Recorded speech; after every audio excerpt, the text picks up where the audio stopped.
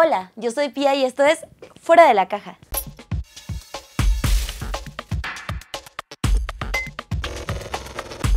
¿Te gusta la literatura?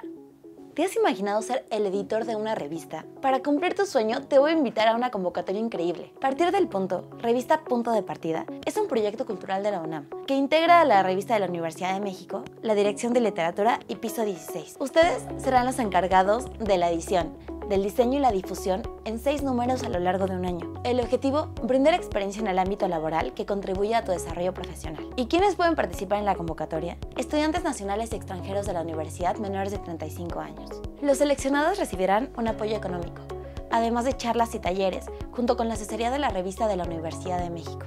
Punto de Partida es un proyecto que apoya la creación literaria en los jóvenes. Y para esto tiene tres proyectos increíbles.